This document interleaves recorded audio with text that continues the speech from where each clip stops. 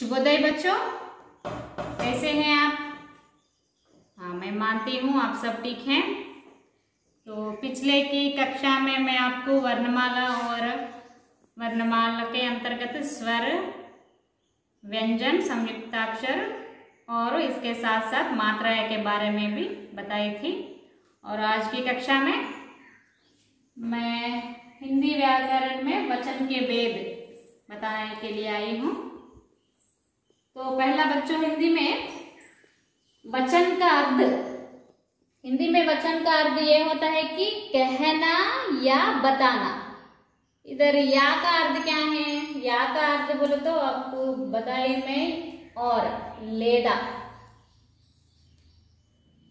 तो वचन का अर्थ ये होता है कि कहना या बताना कहना कहना అంటే చెప్పటం बताना తెలియపరచటం तो वचन का अर्थ क्या है कहना या बताना तो ये तो समझ गए ना వచన్ का अर्थ क्या ये होता है कि कहना या बताना వచన్ యొక్క అర్థం ఏంటమ్మా హిందీలో అంటే కెహనా లేదా బతానా కెహనా అంటే ఏంటిది చెప్పటం బతానా అంటే ఏంటి తెలియపరచడం అంటే రెండు కూడా సమానార్థాలు तो ये छोड़ दो अब वचन का अर्थ हो गया तो कहना या बताना तो व्याकरण में इसका अर्थ है तो हिंदी व्याकरण में ये वचन का अर्थ है संख्या वचन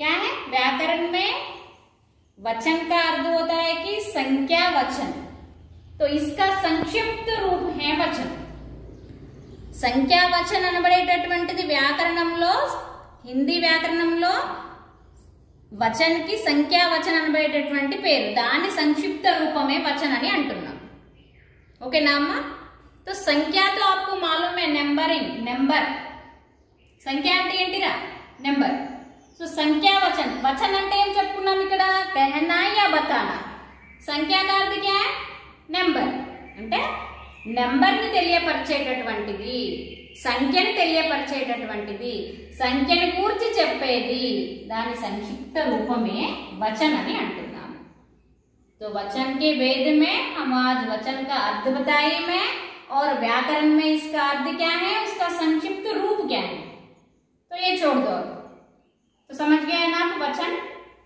तो हिंदी वचन में फिर हिंदी वचन में वचन को दो प्रकार होते हैं హిందీ మే వచన్ దో ప్రకార్ కే హోతే హై మరి హిందీలో వచన్ ఎన్ని ఎన్ని రకాలుగా ఉంది రెండు రకాలుగా ఉంది ఏక్ వచన్ బహువచన్ ఒకటి सिंगुलर नंबर और दूसरा बहुवचन प्लूरल नंबर ओके माँ?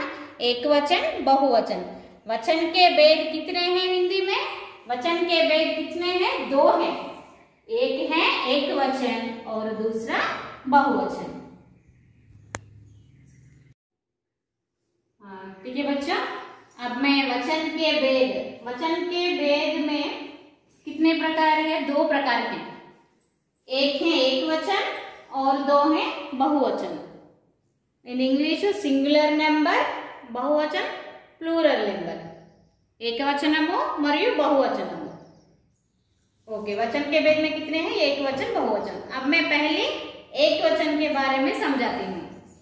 ओके एक वचन बच्चा एक वचन इसे कहते हैं कि शब्द के जिस रूप से किसी एक वस्तु एक वस्तु एक व्यक्ति या एक पदार्थ का बोध हो उसे हम क्या कहते हैं एक वचन कहते हैं समझे बच्चों शब्द के जिस रूप से शब्द यानी क्या है వర్డ్ పదం ఆ పదం అనుసరించి ఆ పదంలో ఒక వస్తువు గురించి కానీ और एक వ్యక్తి ఒక వ్యక్తి గురించి కానీ యా ఏక్ పదార్థ అంటే ఒక వస్తువు గురించి కానీ ఒక వ్యక్తి గురించి కానీ ఒక పదార్థం గురించి కానీ బోధము బోధి అని తెలియపరిచినట్టయితే కనుక దాన్ని ఏమంటున్నాము ఏక్ వచన్ అని పిలుస్తున్నాము ठीक है जैसे उदाहरण क्या है बच्चा कुत्ता कौवा माला आंख नारी పుస్తక్ ఆది ఆది का अर्थ है कि మొదలైనవి ఎక్సెట్రా ఓకే బచ్చా వలతో ఒక పిల్లవాడు కుత్త ఒక కుక్క కవ్వ కాకి మాల దండ ఆంఖ్ కన్ను నారి స్త్రీ యా మహిళ పుస్తక్ పుస్తకం ఇవన్నీ ఏంటి చూడండి बच्चा यानी एक व्यक्ति के बारे में बता रही है कुत्ता भी कौवा ఇవన్నీ కూడా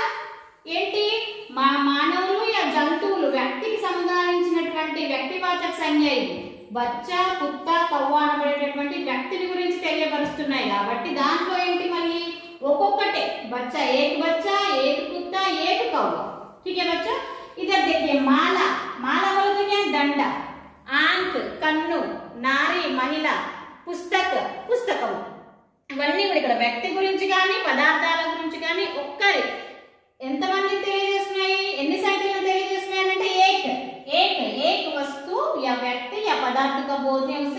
एक वचन कहते हैं, जिसमें उदाहरण था, अब मैं बताइए सब। ओके ठीक है बच्चों? फिर आगे है बहुवचन। बहुवचन के अंतर्गत शब्द के जिस रूप से अनेक वस्तुओं, अनेक, ध्यान देना इधर इधर एक है, इधर अनेक अनेक वस्तुओं, व्यक्तियों या पदार्थों का बोध हो, उसे क्या कहते हैं? बहुवचन कहते हैं।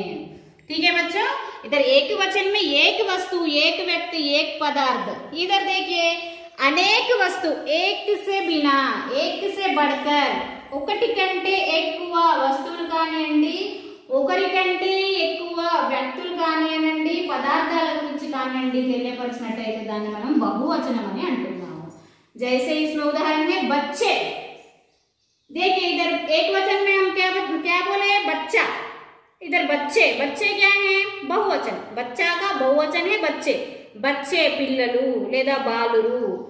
కుత్తే కుక్కలు. కౌవే కాకులు. మాలాయే దండలు. ఆంకే కన్నులు. నారియా స్త్రీలు లేదా మహిళలు. పుస్తకే పుస్తకాలు. అది మొదలైనవి. तो इधर ध्यान दीजिए बच्चों, इधर एक वचन में एक वस्तु, एक व्यक्ति, एक पदार्थ का बोध हुए तो उसे हम एक वचन कहते हैं। और बहु, बहुवचन में एक से बिना अनेक वस्तु, अनेक पदार्थ, अनेक व्यक्ति के बारे में बता दिया तो उसके हम उसे क्या कहते हैं? बहुवचन कहते हैं। इधर देखिए, बच्चा एक वचन है, बहुवचन क्या है? बच्चे। फिर कुत्ता एक वचन है, बहुवचन में क्या है? कुत्ते। कौवा एक वचन है कौवे बहुवचन है माला एक वचन है मालाएँ बहुवचन है आँख एक वचन है आँखें बहुवचन है नारी एक वचन है नारिया बहुवचन है पुस्तक एक वचन पुस्तकें बहुवचन है। समझ गए ना बच्चे? हाँ बच्चे, आप वचन के वेद के बारे में आप समझाए ना? अब गृह कार्य के गृह कार्य दे रही हूँ मैं गृह कार्य में एक वचन, बहुवचन के कुछ शब्द लिखो। एक वचन బహువచనం గురించి తెలిపేటటువంటి పదాలను కొన్ని పదాలను రాయమని ठीक है बच्चा धन्यवाद।